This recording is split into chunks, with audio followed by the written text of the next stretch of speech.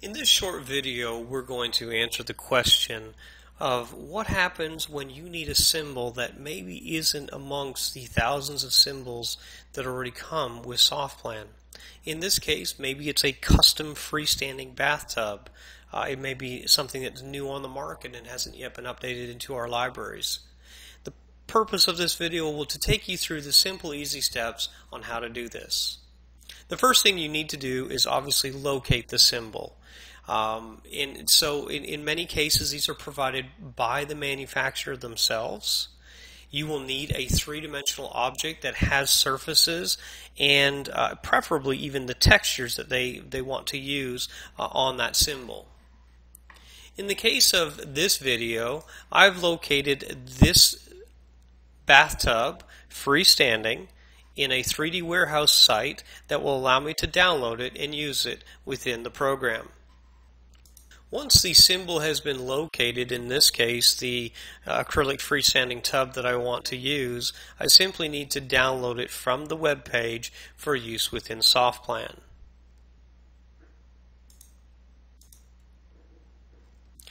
I've created a folder on my desktop for where I may store files in this case a Friday Fundamentals folder and so at this stage I will simply save the file there.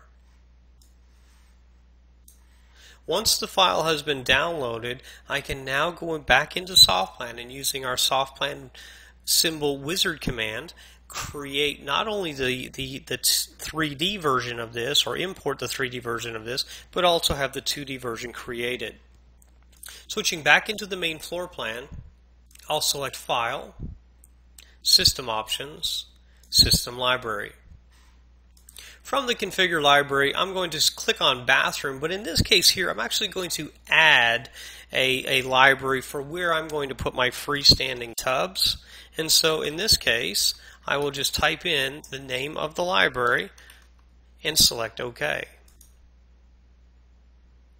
With freestanding tubs highlighted, I will now select the wizard option, which will allow me to give the tub a name. And this is really, you can name it by product code, um, or you could simply name it uh, by the, the name that you found on the website.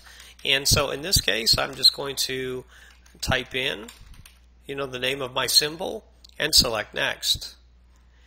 I do not have a plan preview of the symbol on my drawing screen. So in this case, I'll select no and select the next option, which will allow me to import the 3D symbol first. And then from that 3D symbol, I'll create the 2D version of it. So here, I'll select the import 3D symbol, which will mandate that I need to now browse to find it. Upon selecting the browse option, I can select the Friday Fundamentals folder select the uh, name of the symbol itself, and open it. I can now determine where I want to place the 3D symbol. So in this case, once again, I'm going to create a library in my 3D listings for the symbol to be stored. Select OK, and at this point the import process will begin.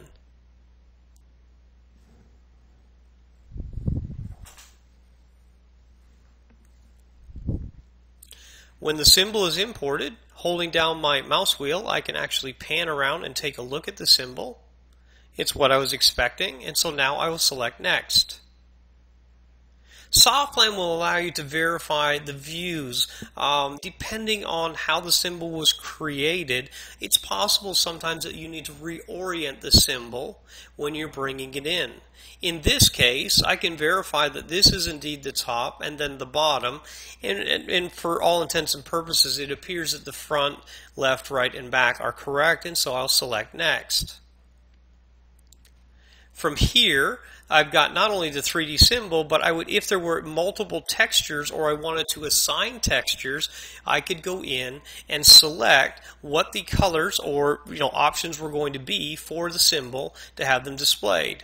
I would also be able to go into the actual options of the symbol itself and change the various options on the, the, the library as far as its you know ambience, diffuse, opacity, etc. Once I've done this, I can select the next option. the dimensions are pulled from the symbol itself.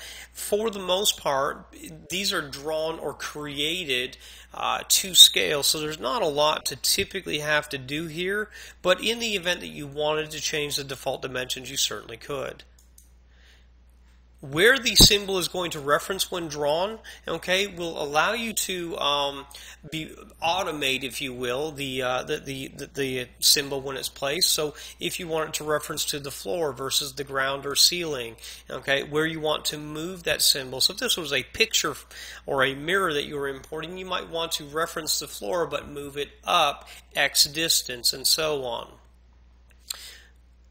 Finally, I will select the generate option, which will now create the two-dimensional plan for me. And so as I generate that, it's a fairly simple option, obviously, so I'll click the next option and now select finish.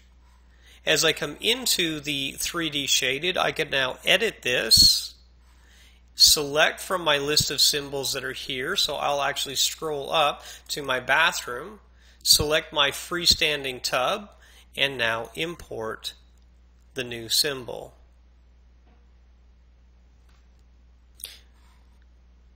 And that is just how easy it is to import a symbol.